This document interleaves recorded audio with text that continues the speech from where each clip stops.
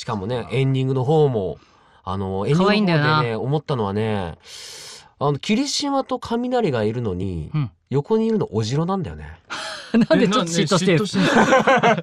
俺が痛かったみたいなマクゴがね、いないのよ。え、その信彦さんまでそうなっちまったら、プロフィットはどうすればいいんですか？ねどういうこと？嫉妬だらダけメですよ。こっち側に来ちゃう。そうかそうかそうか。いやいや、海斗君がもう、そっち側いるんだね。もうせっかくアクリル板で隔ててるんだから、こっち側に絶対来ないでください。ダメです。プロフィットないの闇側に来ないでください。闇側にはダメか。いや、オープンエンドのいいところは、しかもその、まあね、その、二つのアーティストの方々がいらっしゃって、うんうんうんその、まあ、オープニング、あの、爽やかな今日始まるぜって授業の、はい。授業の最中のはい。絵もあって、本当になんかこう、ヒーローとしての活動っていうのがあった。うんうん後にエンディングでその寮のうんお話になって、しかもその女性特有のちょっと柔らかい、そうこのリラックスするような歌声も相まってこう帰ってきたみたいなう。んだから今日の活動がオープニングで始まってうん、で今日の活動終わりがエンディングであるっていう非常にいいマッチングの仕方をしてるわけですよ。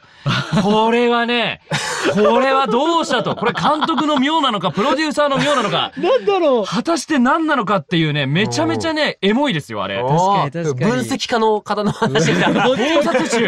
本当だね。なるほど思っちゃった。もう考察中はこうやってアニメを楽しむんだ。大事だよね。自分の解釈を照らし合わせてね。そうそうキャラクターそれぞれが本当に生き生きしてていいよね。うんなんかオープンエンドでもやっぱ知らない表情が見られて本当好きになるみんないの。そうなのよ。送ってるもんね、スーパーとかね。あのスーパー行きてえなって思っちゃった。みんなそうやってんじゃんって思って。もうちょっとお話いいですか？って聞いてみたくなった。確かに確かに。話すから。はいって返事したね、今ね。